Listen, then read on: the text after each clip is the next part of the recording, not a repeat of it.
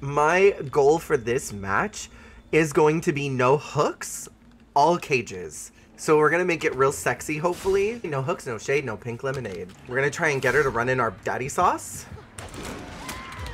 I mean, I got her at least. oh, both of them. This is a cage only game, okay? What? Sir. Not again. Nice, let's go. Right there, I'm thinking that's Shiva. Cage time.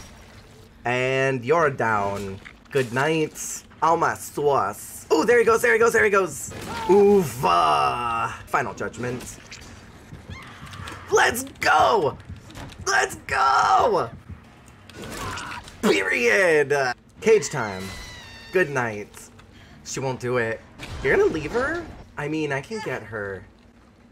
If I bring her all the way into the corner to try and force it, she knows I won't do it.